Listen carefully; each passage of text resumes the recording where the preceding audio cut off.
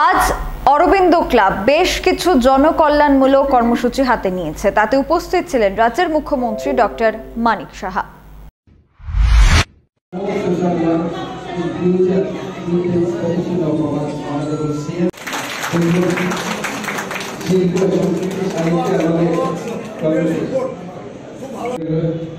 সরকার চেষ্টা করছে মানুষের যে সমস্যা সরকার সমস্যা সমাধানের জন্য সরকার। সেটা আমাদের আগরতলা মিউনিসিপাল কর্পোরেশনই হোক, নগর পঞ্চায়েতে হোক মিউনিসিপ্যালিটি হোক, ত্রিস্তরীয় পঞ্চায়েতে হোক এডিসি এলাকায় হোক, সব জায়গায় সরকার যে প্রতিনিধিত্ব সংখ্যা, দিকের কারণে সরকার গঠন করেছে। মিনি গভর্নমেন্টের হোক, আর গভর্নমেন্টের হোক। মানুষের এই জন্যই ওনাদেরকে নির্বাচন করেন যে আমার যে সমস্যাগুলো সেই সমস্যাগুলো আপনারা সমাধান করবেন এবং সেই সমস্যার কারণেই কিন্তু সরকার। তো এখানে আমার অত্যন্ত পরিচিত মুখ ঘোষ বাবু মহাদয় বলেছেন যে যখন আমাদের কিছুদিন আগে, তিন মাস আগে আমাদের বিধানসভা নির্বাচন হচ্ছিল সেই বিধানসভা নির্বাচনের সময় রক্তের খানিকটা সংকট দেখা দিয়েছে।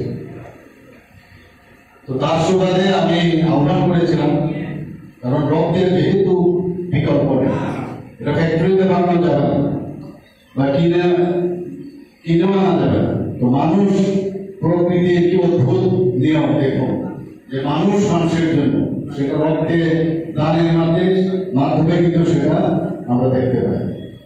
আবার আমি আমাদের অন্যভাবে যদি চিন্তা করি যে রক্তদান শুধু রক্তদান নয় এটা মনেরও দান যে মানবিক যে দায়বদ্ধতা সেই দায়বদ্ধতার তাগিদে সেই দায়বদ্ধতার তাগিদেই কিন্তু রক্তদান কাজে এটাকে রক্তদান না, মনেরও দান এবং সেইভাবে মানুষ প্রতিনিয়ত রক্তদান করছে এবং আমাদের নিয়ম হচ্ছে ওয়ান পার্সেন্ট রক্ত মজুদ থাকতে হবে।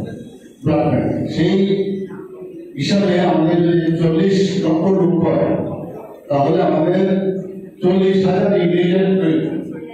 যা আমার কাছে ডাটা আছে, সেই ডাটা অনুযায়ী প্রায় ফোর্টি টু থাউজেন্ড আমাদের এখন মজুদ আছে ইউনিট তো সেই দিক থেকে আমরা ভারতবর্ষের মধ্যে কিন্তু অনেকটা এগিয়ে আছি যে রক্তদানকে একটা উৎসবের মেজাজে যেভাবে মানুষ রক্ত দান করছে সেইভাবে কিন্তু রক্তদান মানুষ আমাদের সরকারের তরফ থেকে আমি যখন আহ্বান করলাম, সেটা পূরণ হয়ে গেছে।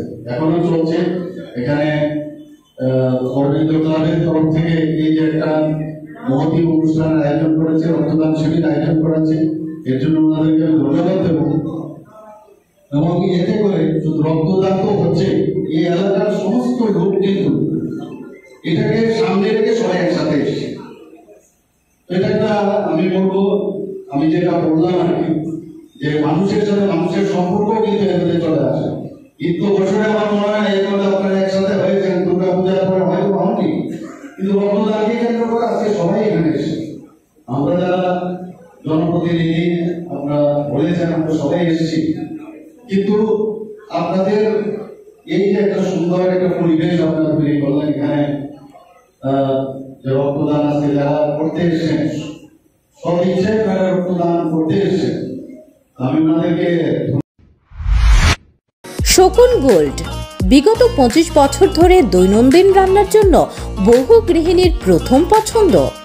একশো শতাংশ বিশুদ্ধ এগমার্ক যুক্ত কাচ্চিখানি খাঁটি সর্ষের তেল আপনার রান্নাকে করে তোলে সুস্বাদু মুখরোচক। শকুন গোল্ড, ভরতপুর, রাজস্থান। ত্রিপুরার পরিবেশক messrs Ramakrishna trading NS road, Agartala. Mobile nine four three six nine zero two nine seven five.